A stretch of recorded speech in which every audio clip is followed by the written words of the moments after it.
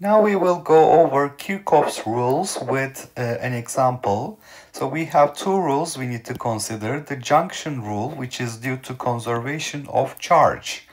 The net current that enters a junction is zero at a junction. That's known as Kirchhoff current law, KCL. And there is the loop rule, which is conservation of energy.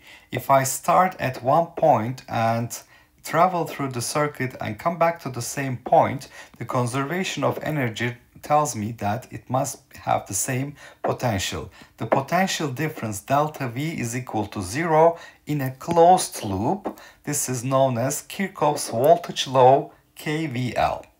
So in this example, we have uh, I1, I2 and I3 in question. So I1 is the current that flows uh, through the 6 ohm resistor. I2 is the one that flows uh, through, through the battery and I3 is the one that flows through the 2 ohm resistance. Uh, now you can see that when I form Kirchhoff current law, uh, I can write this at point uh, C for example. So let's start with Kirchhoff current law at point C. 1 first equation I will get, the net current that enters point C should be equal to zero, the total current. So I1 plus I2, I1 and I2 are entering, I3 is leaving, so minus I3 is entering, uh, and this must add up to zero. This is Kirchhoff current law. I have written this at point C. So this is my junction, point C. The total current that enters this junction should be equal to zero. Okay, because we have conservation of charge, I1 plus I2 must be equal to I3. The charge that enters uh, the junction C per unit time must be equal to the charge that leaves junction C per unit time. That's due to conservation of charge. Now, the, as for the second equation between I1, I2 and I3, I will consider the loop KVL1. So this is Kirchhoff voltage law 1. So for this one, I'm going to start at point B and end at point B. Okay, so I will do this loop. Now, uh, if I look at my current convention here, what I have called I2 is flowing uh, in this direction, which means there's a voltage drop here. So plus minus 4 ohms, plus minus 14 volts, etc. And on the other hand, my convention for I1 is flowing to the right. That means this is minus plus 10 volts plus minus 6 ohms because I have a voltage drop as I1 flows through the 6 ohm resistor. Okay, so uh, first I will start with 4i2, so I see the plus first, 4i2, then I have plus 14 volts, then I have minus 6i1, and then I have plus 10 volts. So this is 4i2 plus 14 volts minus 6i1 plus 10 volts is equal to 0. So I, has, I have started at point B and ended at point B uh, in the loop KVL 1. So this gives me uh, 4i2 minus 6i1 uh, in total. So this is 4i2 minus 6i1 is equal to uh, 10 plus 14, 24, but taken to the right side becomes minus 24. Or I can write this as 2i2 minus 3i1, if I divide this equation by 2, is equal to minus 12. And this is Kirchhoff voltage law for, for the first loop, KVL 1. Now I need another equation, three unknowns requires three independent equations here. So uh, for this one I will consider the loop KVL2. Now look at my current convention here. I1 goes to the right, so this is minus 10 volts uh, plus, uh, 6I1 and I3 uh, flows uh, basically to the left uh, across 2 ohms. So this will be uh, plus 2I3. So looking at the convention for this current. So I have uh, plus 2i3, 2i3 minus 10 volts plus 6i1 is equal to 0. So 6i1 plus 2i3 must be equal to 10. And if I divide this uh, equation by 2, this will become 3i1 plus i3 equals 5. So that is my KVL number 2, Kirchhoff voltage law number 2. So I have obtained three equations, KCL equation, KVL1 and KVL2. Now let's summarize what we have obtained here. Uh, KVL1 equation is going to tell me what I2 is. So KVL1 equation here uh, 3I1 minus 12 divided by 2 is equal to I2. So let's isolate I2.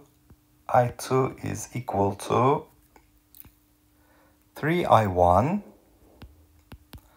minus 12 divided by 2. So that's basically this equation, 3i1 minus 12 divided by 2.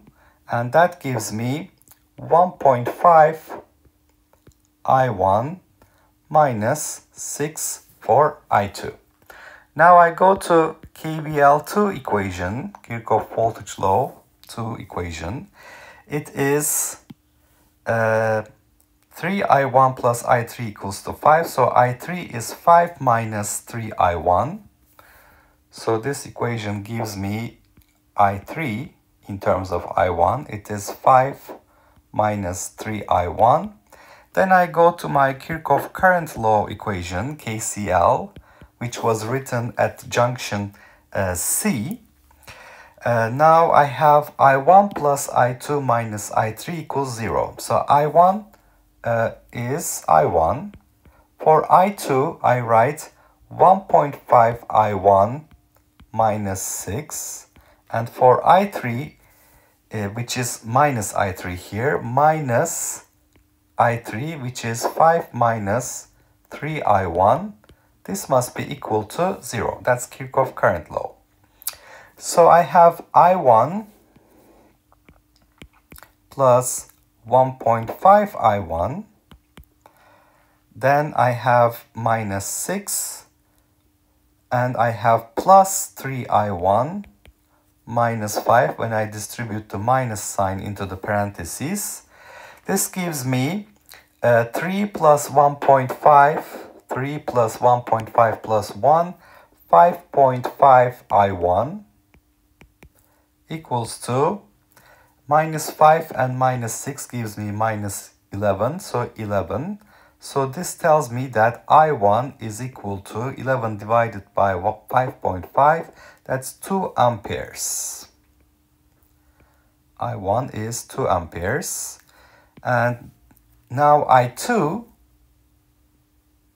is 1.5 I1 minus 6, so it's 1.5 times 2 minus 6. So this gives me I2, 3 minus 6, minus 3 amperes. So the convention was incorrect for I2. It appears it because it has a minus sign. And I3 is 5 minus 3i1, so it's 5 minus 3 times 2. So I3 turns out to be 5 minus 6, which is minus 1 amperes.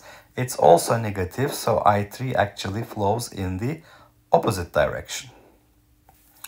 Okay, So this was an example for Kirchhoff's rules. Kirchhoff has two rules, junction rule and loop rule. Junction rule is a statement of conservation of charge. The total current entering a junction is equal to zero. And how do I find the total current entering a junction? For those that are going into the junction, I take a positive sign. For the ones leaving the junction, I put a negative sign. So negative I3 is entering the junction. So I1 plus I2 minus I3 equals 0. That's Kirchhoff current law. Then to apply Kirchhoff voltage law, which is the loop rule, that's a statement of conservation of energy, the net, uh, the sum of the potential differences is equal to zero in a closed loop. So if, if I start at point B, I end at point B, that gives me KVL1.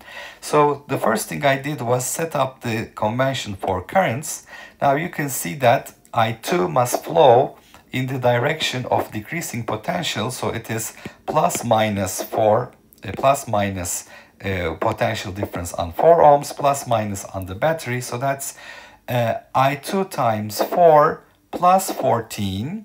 Then going to this uh, branch, I have here I1 flowing in, uh, in this direction, which means the voltage drop is uh, plus minus to the right. So this is going to give me minus 6 I1. Then I see the plus sign here, plus 10 volts. So 4I2 plus 14 minus 6i1 plus 10 is equal to 0. And then I applied Kirchhoff voltage law the second time for this uh, loop, uh, starting at point C. Uh, basically, this is written from point C going back to point C. I have uh, 2i3, this is the voltage drop, minus 10 and then plus 6i1 is equal to 0 uh, and this gives me my third equation. So manipulating these three equations, isolating uh, I2 and I3, writing them in terms of I1, uh, and putting the results into the first current equation, Kirchhoff uh, current law equation, I obtain I1, I2, and I3. You can see that I1 turned out to be 2 amperes, so this convention was correct, but I2 and I3 are actually flowing in opposite directions. So I3 is entering the junction, I2 is leaving the junction because of the minus sign that I have obtained in my final answer.